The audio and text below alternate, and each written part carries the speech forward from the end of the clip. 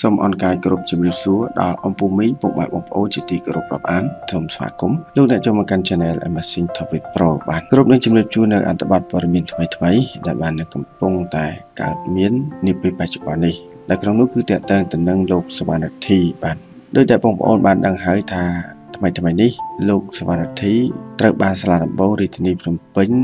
ដោះលែងឲ្យមានសេរីភាពក្រោយពីលោករងការចោទប្រកាន់ពីបទញុះញង់ ឲ្យមាន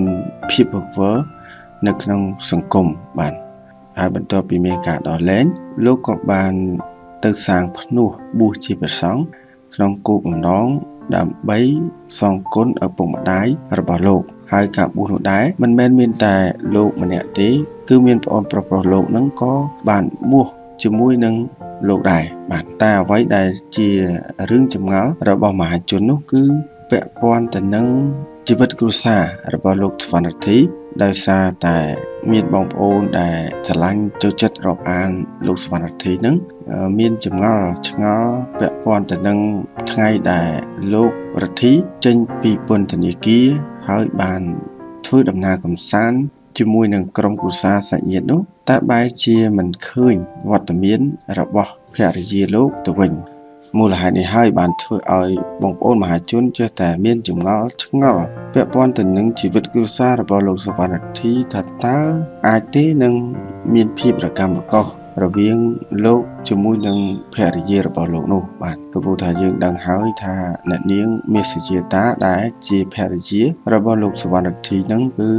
ពេលដែលលោករទ្ធីនៅក្នុងគុកនោះគឺអ្នកនាងបាននឹងកំពុងតែមានផ្ទៃពោះហើយគៀកនឹងដល់ថ្ងៃសម្រាប់ផងដែរ បន្ទាប់មកទៀតគាត់ក៏បានសម្រាលកូនស្រីម្នាក់ស្រស់ស្អាតនិងគួរឲ្យស្រឡាញ់ផងដែរហើយតាក់ទងទៅនឹងរឿងរ៉ាវមួយនេះលោកសវរធីក៏បានមហោសារមួយនៅក្នុងបណ្ដាញសង្គម Facebook ផ្លូវការរបស់គាត់ហ្នឹងគឺគាត់បានលើកឡើងថាចង្គៀងផ្ទះអ្នកណាភ្លឺផ្ទះអ្នកនោះដូច្នេះចង់ដឹងថាតើការលើកឡើងរបស់គាត់មានអត្ថន័យនិងខ្លឹមសារយ៉ាងណានោះយើងនឹងលម្អិតនៅអត្ថបទព័ត៌មាននេះបន្តិចទៅមើលបាទ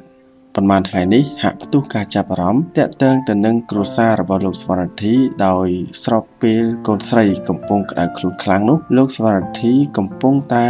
មានវត្តមាននៅឯខេត្តសៀមរាបជាមួយនឹងសាច់ញាតិរបស់លោក ជាហេតុធ្វើឲ្យមានការរិះគន់មួយចំនួនផងដែរលោកក៏បានឆ្លើយតបរួចហើយថាលោកមានហេតុផលផ្ទាល់ខ្លួនមិនមែនលោកមិនបារម្ភចំពោះកូននោះឡើយ ជាក់ស្ដែងនៅមុននេះបន្តិចបើយោងតាមប្រភព Facebook របស់លោកសវណ្ណធីបានធ្វើការបកស្រាយខ្លះៗយ៉ាងដូចនេះថាចង្គៀងផ្ទះអ្នកណាភ្លឺផ្ទះអ្នកនឹងចុះហេតុអ្វីមនុស្សមួយចំនួនចូលចិត្តកាន់ទៀនដែលចូលមកបំភ្លឺចង់ដឹងចង់ឮរឿងក្នុងផ្ទះអ្នកដតីខ្លាំងម្លេះអ្នកមានដឹងថាទៀនដែលអ្នកកំពុងកាន់នោះពេលខ្លះអាចដុតឲ្យផ្ទះគេឆេះបានដោយមិនដឹងខ្លួន សូមយោគយល់ផង បើអាណិតស្រឡាញ់ក្រុមគ្រួសាររបស់ខ្ញុំ បាទនេះគឺជាអត្តន័យសាររបស់លោកសវណ្ណធីពាក់ព័ន្ធទៅនឹងការឆ្លើយតបទៅនឹងចម្ងល់របស់មហាជន ចំពោះរឿងគ្រួសារឯកជនរបស់គាត់បាទក្នុងនោះគឺគាត់បានសង្កត់ធ្ងន់ថាចង្គៀងផ្ទះអ្នកណាភ្លឺផ្ទះអ្នកនោះចុះហេតុអ្វីបានជាមនុស្សមួយចំនួននឹងចូលចិត្តកាន់ទៀនដែលចូលមកបំភ្លឺចង់ដឹងរឿងរ៉ាវរបស់គេទៅវិញហើយនេះក៏ជាការបកស្រាយលើកទី1របស់លោកសវណ្ណធីផងដែរ ប៉ុន្តែមហាជននៅតែមិនអស់ចម្ងល់គឺពិតជាចង់ដឹងថាតើគ្រួសាររបស់លោកសវណ្ណធីមានភាពរកម្មរកុសគ្នាដែរឬក៏យ៉ាងណាបាទការចង់ដឹងរបស់មហាជននេះមិនមែន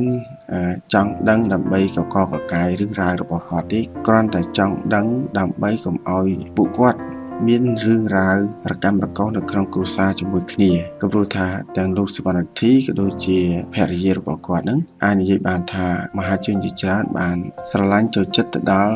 ពួកគាត់អញ្ចឹងហើយបងប្អូនមហាជនយើងគឺមិនចង់ឲ្យពួកគាត់ទាំងពីរនេះមានរឿងរ៉ាវនៅក្នុងគ្រួសារនោះទេបាទបាទហើយចំពោះអត្ថបទព័ត៌មាននេះខ្ញុំបាទសូមបញ្ចប់តែប៉ុណ្ណេះជួបគ្នានៅវីដេអូក្រោយៗទៀតសូមអរគុណ